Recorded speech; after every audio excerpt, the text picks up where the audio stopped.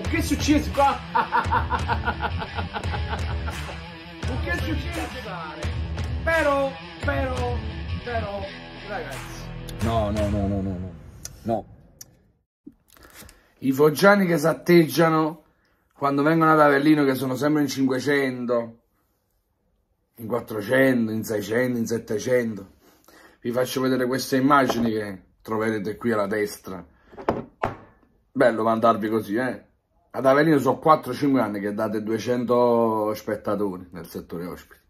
È bello così, eh. Adesso che l'Avellino ha unito di nuovo la piazza con Massimo Rastelli, i risultati sono quelli che sono. Potevamo venire a Foggia in, in mille, in mille, perché sarebbero finiti i biglietti. No, 220 biglietti per i tifosi ospiti. Bravi, bravi, bravi.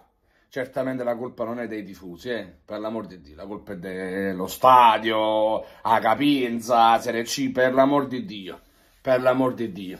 Ma non vi vantate quando non sapete le cose, per cortesia. Non vantatevi, perché senza offesa, è vero, il Foggia in Serie B faceva grandi numeri, grandi numeri.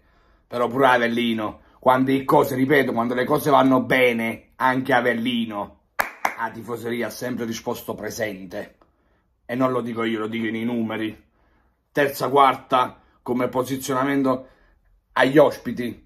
Cioè Avellino era la terza, quarta squadra che faceva più spettatori in trasferta. Cioè l'Avellino è una squadra che fa più spettatori in trasferta che neanche in casa, per farti capire, quindi non batteggiate, eh, quando date 220 taglianti al settore ospiti, eh, perché Foggia Avellino sta là, è un'ora, è un'ora e mezza di macchina, capì?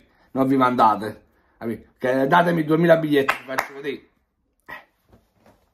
Vabbè, ci vediamo lunedì sera, caro Foggiano. Abbiamo un conto di sospetto, speriamo di vincere. Speriamo di vincere. Oh no, speriamo di vincere. Ciao belli.